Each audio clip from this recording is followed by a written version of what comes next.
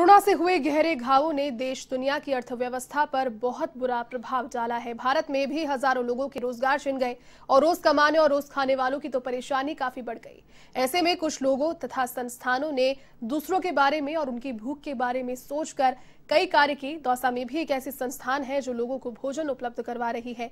दौसा की रसोई के नाम से ये संस्थान संचालित है, जिससे कोरोना वन और चू में अभूतपूर्व कार्य किया।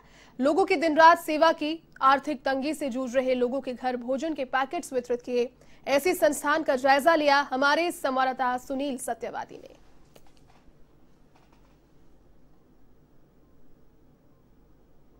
समय के मुश्किल दौर से हम गुजर रहे हैं। पूरा देश, बल्कि यूँ कहिए पूरी मानवता, इस समय परीक्षा के दौर से गुजर रही है। समय के इस दौर में जब लोग चुटके भर देकर मुट्ठी भर पाना चाहते हैं, कुछ ऐसे भी लोग हैं जो देते बहुत कुछ है, लेकिन पाने की अपेक्षा कुछ भी नहीं रखते। ऐसे लोगों के बीच में आज हम हैं, एवं टीवी की टीम है, हम हैं इस समय दोसा की रसोई के वर्कशॉप में, जहाँ लोग बहुत टाइम से, लंबे समय से, कोरोना कालखंड के शुरुआत के समय से गरीब और जरूरतमंद लोगों की सहायता कर रहे हैं, सेवा कर रहे हैं, वो भी निस्वार्थ। आइए दोस्ता की रसोई के टीम मेंबर से मिलते हैं, कुछ लोगों से मिलते हैं और समझने का प्रयास करते हैं कि मानवता की सीख उन्हें कहाँ से मिली और ये किस तरह से काम कर रहे हैं इसके पीछे क्या प्रेरणा है? जी मनोज जी नमस्कार। सबसे पहले मैं धन्यवाद सबसे पहले मैं आपको धन्यवाद देना चाहूँगा। आप सबकी पूरी टीम को धन्यवाद देना चाहूँगा कि मानवता के लिए आप बहुत अनोखा काम कर रहे हैं दुर्लभ का, काम कर रहे हैं। इन सबकी प्रेरणा को कहाँ से मिलेगी सबसे पहले प्रेरणा की बात करें तो इंसान में ये कुछ मानव सेवा का देश सेवा का जज्बा बचपन से ही रहता है और मैं इसका पूरा श्रेय दूँगा मेरे स्कूल को। आदर्श विद्या मंदिर से मेरी शिक्षा हुई है वहीं हमें सिखाया जाता है। कि इंसान को अपना पूरा जीवन सबसे पहले मातृभूमि के लिए समर्पित करना चाहिए। और कोरोना के ऐसे विषम परिस्थितियों में, विशेष रूप से मेरे सहयोगियों के साथ हम लोगों ने प्रयास किया है कि हमारे शहर दौसा से कोई भी भूखा नहीं जाए और कोई भूखा नहीं सोए। पिछले वर्ष के लॉकडाउन में पहली लहर में भी पलायन कर रहे राहगीरों को दौसा की रसोई संस्थान ने भोजन करवाया था। तकरीबन पाँच लाख से ज़्यादा राहगीरों को हम लोगों ने भोजन करवाया था। दूसरी लहर में राहगीरों के बजाय दौसा के जो स्थानीय निवासी जिनको लॉकडाउन में बहुत ज़्यादा खाने पीने की समस्या हो रही है, काम धंधे बंद हैं, आर्थिक स्थिति खराब है और मजदूर वर्ग के लोगों के लिए ज़्यादा विशेष समस्या हो गई है। ऐसे लोगों के लिए दौसा की रसोई संस्थान रोज़ भोजन उपलब्ध करवाता है। सुबह पाँच बजे के आसपास ही हम दौसा रसोई को चालू कर देते हैं और 12 से एक बजे के बीच में पूरे पैकेटों का वितरण दौसा शहर में जरूरतमंदों को उनके घर बैठे उपलब्ध करवा दिया जाता है। ये प्रेरणा कहाँ से मिली? मतलब ये विचार एक कंसेप्ट उठा कहाँ से? माना कि आपने एवीएम पढ़ाई की है सब कुछ बढ़िया है, लेकिन ये कंसेप्ट ये अपनी तरह का अलग कंसेप्ट था, दूसरा जैसे छोटी जगह में ये सोच कहाँ से आई? सोच यही था कि ईश्वर ने अगर कुछ इस लायक आपको बनाया है तो फिजूल खर्ची के बजाय आप अपने कमाए हुए धन का सबसे अच्छा सदुपयोग कर सकते हैं जन सेवा में, जरूरतमंदों की सेवा में।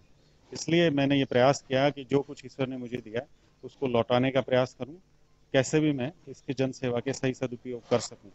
ये प्रयास रहा। इसके साथ ही हमने खुशियाँ बांटो अभियान भी चालू कर रखा है, जिसके तहत किसी के जन्मदिन या विवाह वर्षगांठ पर उनकी तरफ़ से दौसा की रसोई संस्थान में भोजन के लिए राशन उपलब्ध करवाया जाता है।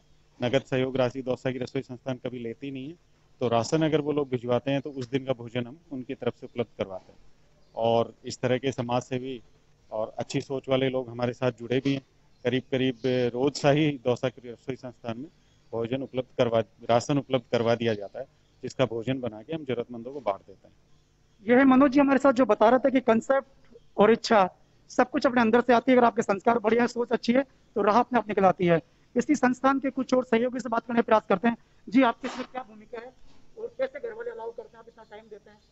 जी जैसे कि लास्ट पिछले गत वर्ष के कोरोना काल में भी हम सब लोग चार लोग मित्र लोगों ने आए और हमने जब देखा कि रोडों पे काफ़ी लोगों को भूखे हैं और ऐसे जा रहे हैं। तो एक स्वयं एक एक मन से एक इच्छा हुई कि अगर अपन कुछ कर सकते हैं इन लोगों के लिए तो अपन को करना चाहिए। तो उसी कड़ी में हम, मैं, मनोज जी, राघव जी के साथ में हम आए और उसके साथ वो हमारा कारवा ऐसा बढ़ता गया बढ़ता गया कि आज हमारे ग्रुप में सत्तर से अस्सी लोग जुड़े हुए हैं। देखिए, बचपन से एक बात पढ़ी थी और सुनी थी कि धर्म की जड़ सदा हरी लेकिन बहुत बड़े होने के बाद भी उसका अर्थ समझ में नहीं आया। लेकिन जब हम दूसरे के रस्ते में आए, इन लोगों से मिले, इनकी बातों को समझा तो लगा कि सच में धर्म की जड़ सदा हरी होती है। हम एवन टीवी की टीम पूरी अपेक्षा करती है, प्रार्थना करती है, इनके प्रयास आगे भी जारी रहे और इनकी जो इच्छा है कि दूसरों का साथ देने की, सहयोग देने की, भूखों को खाना खिलाने की, वो निष्फल न जाए, वो सदा हरी रहे। इनके काम, इनकी उम्र को लंबा करे, इनके यश को बढ़ाए। एवन टीवी सुनील सत्यवादी दो